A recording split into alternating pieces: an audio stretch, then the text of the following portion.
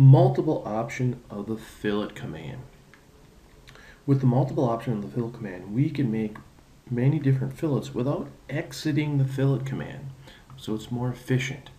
So if I can go up to the fillet command, and I already have my radius set, I can go bink, bink, and now I have to go back to the fillet command, right? So that's a little slower process. If I come down and I click on multiple, right, now I come along and and pick on my line and my line, and it stays in the fillet command doesn't kick me out of the fillet command. I can go around and do more than one object at a time. When I'm done, I can hit enter or escape and it will bail out of the command. So I can use the multiple option of the fillet command to make several fillets without exiting the command.